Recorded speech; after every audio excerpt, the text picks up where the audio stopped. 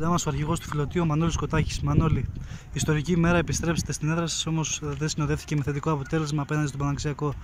Τι δεν πήγε καλά και δύο λόγια για την παρουσία του κόσμου που σας στήριξε από το πρώτο μέχρι το τελευταίο λεπτό.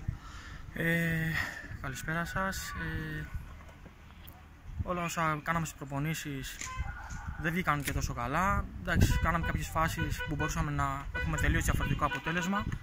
Δεν μπήκαν, δεν ήμασταν τόσο τυχεροί. Ήταν πολύ καθοριστικό το πρώτο γκολ που βάλανε με πέναλτι. Και λίγο αφιζητούμενο. Ε, το δεύτερο ημίχρονο πήγαμε δυνατά, γίνανε κάποιες μονομαχίες και στο κέντρο, βάλαν πρώτο γκολ αυτοί, κάναμε κάποιες σφαιρές, δεν μπήκαν τον γκολ. Είμαστε πολύ στεναχωρημένοι που εδώ κερδίσαμε. Και φοβερή ατμόσφαιρα στο Γιάνγκος Γρατσίας, εξαιρετική ατμόσφαιρα, δεν έχω ξαναδεί κάτι τέτοιο. Πραγματικά ο 10ος παίκτης, είμαι πολύ δυσαρεστημένος που έχασα που δεν μπορούσα να χαμογελάσω αυτού του υπέροχου φιλάθλου. Πανάξι ανήκει στο Παναξιακό, άξιζε την νίκη, ήταν καλύτερος από εμάς. Προχωράμε στο επόμενο παιχνίδι. Ευχαριστούμε πολύ. Ευχαριστούμε πάρα πολύ.